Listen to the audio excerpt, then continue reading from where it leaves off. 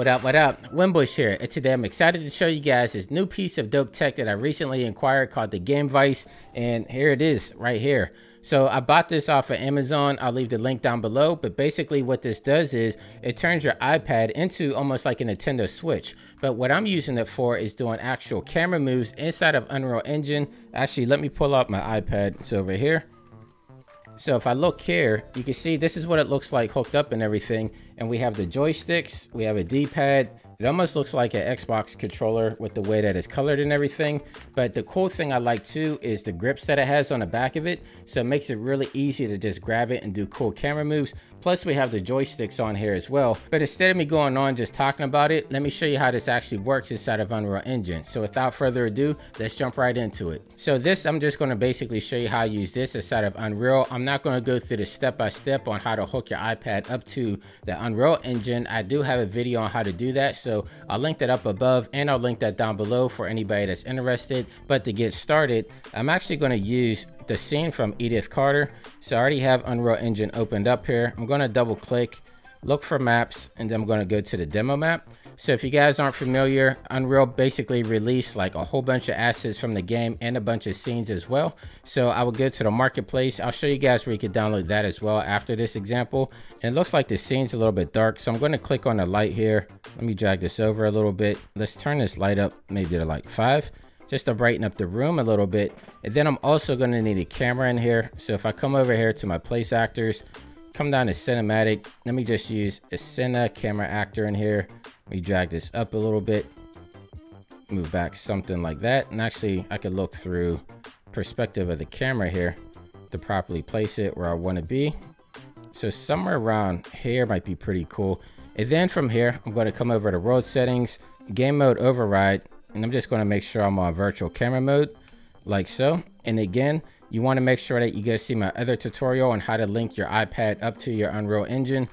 So now that we have everything ready to go, I have my iPad actually ready to connect to Unreal. But before I get started, I want to click on this arrow here, and then I want to come down to active play mode.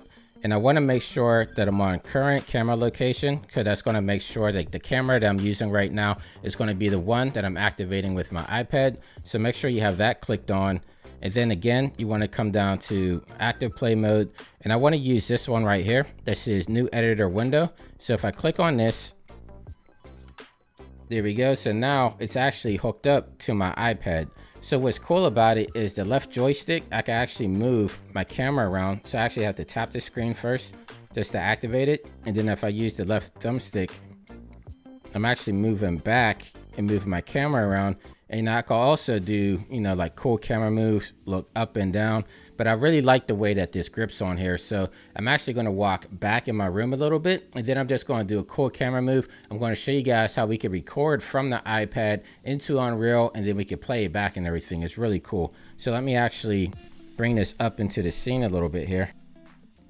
So I'm going to bring this window up so we can see it better and everything that's on this screen here correlates with my iPad. So you see like this big red button right here. I actually have it on my iPad as well. So if I hit the red button on my iPad, it's going to start recording the scene and then I do my camera moves and when I'm ready to stop, I'll hit it again. So let me get this set up. I'm going to move back into my room here. And I'm still mic'd up with the lav mic. It might sound a little bit bad in quality, but you see what's cool is I'm actually walking around the room as well. So if I move backwards, I'm actually going through the wall there. So, so it does do, you know, virtual placement, room scale placement to a small extent. Not as good as the Vive, but it still works out pretty well. So what I'm gonna do now is I'm gonna click the red button. You'll see a countdown, three, two, one. And I'm actually gonna hit the A button in the top right just for automatic focus. And let's say I wanna do like a zoom over to the bed. So I'm gonna do like a small move almost like an airplane move.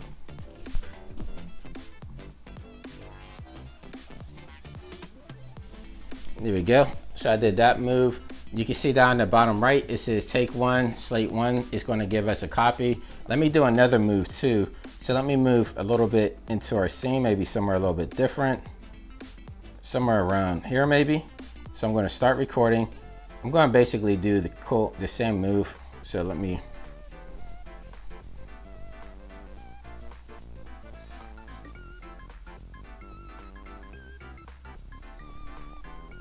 there we go. So that's really cool how we can do those type of camera moves in here.